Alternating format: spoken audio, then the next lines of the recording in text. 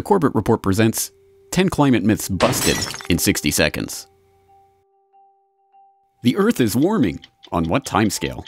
This year was the hottest year ever. Was that before or after NASA and the NOAA altered the temperature record to make recent years warmer? 97% of scientists agree on global warming. You mean 97% of 77 scientists in an unscientific online poll? Sea levels are rising. Yes, at a rate of 7 centimeters per century. Hurricanes are increasing. US landfalling hurricanes are at their lowest intensity in a century. But polar bears! The polar bear population has quintupled in six decades, and the USGS admits their numbers are near historic highs. ClimateGate was hype and it's been debunked.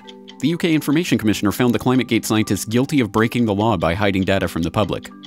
Models project a temperature increase of over 2 degrees this century, and these same models overestimated warming over the past 15 years by 400%. Weather is not climate. Actually, yes, and this is true when it's hot outside too. Climate denial is a well funded conspiracy. Actually, the real money is to be made in global warming alarmism. Any questions? Transcript sources and links for this video are available at corbettreport.com.